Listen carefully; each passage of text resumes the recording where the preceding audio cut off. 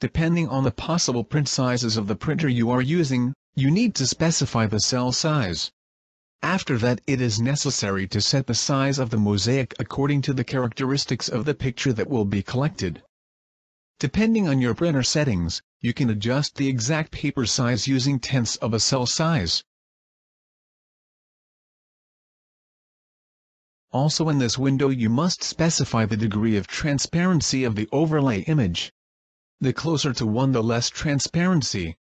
The closer to 0 the more transparency. The next setting is a setting of the photo crop method.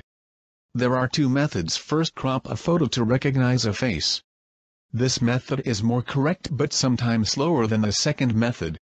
The second method crop the photo relative to the center. The next step is to indicate the paths to the hot folders, the work folder and the image that will be collected in the mosaic we recommend that you do not use spaces in folder names. We must first indicate the path to the main folder, and only after that indicate the path to the image to be collected.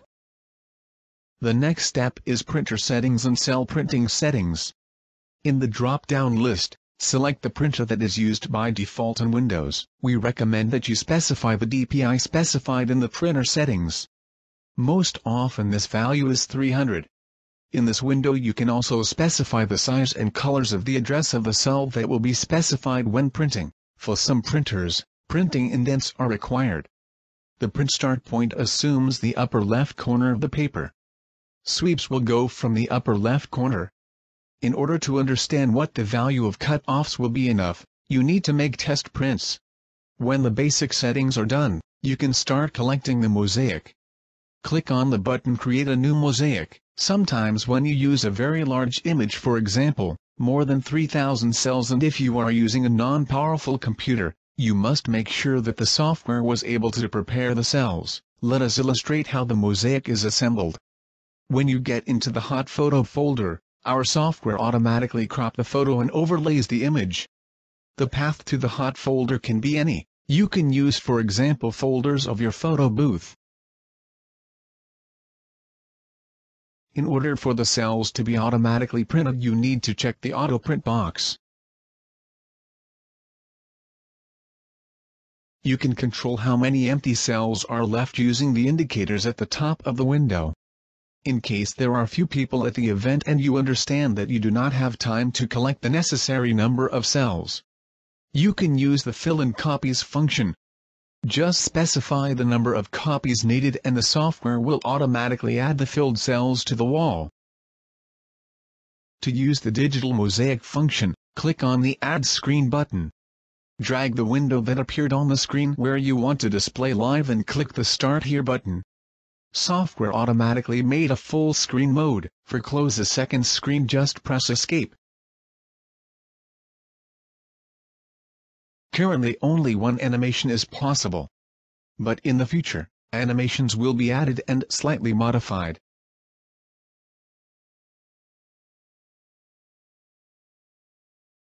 In order to proceed to the next functions, fill our mosaic to the end.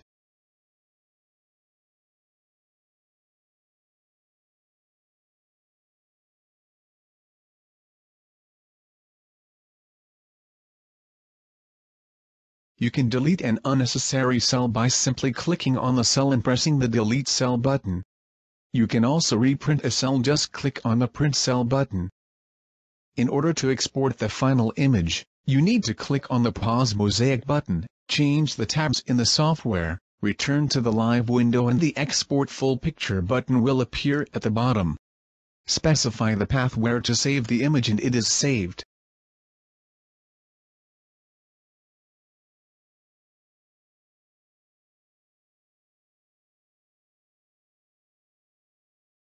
Be careful, if you click the Stop Mosaic button, all photos and cells will be deleted.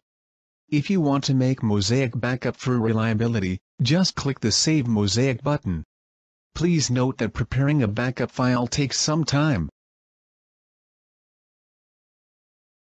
And only if you made a backup, you can continue the mosaic after clicking the Stop button.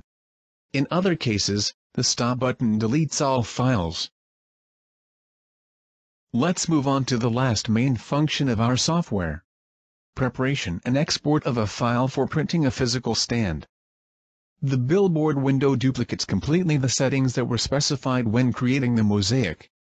Additionally, you can change the sizes between cells, the color of the lines of the table, the color of the background for printing, the color of the lines and the color of the text.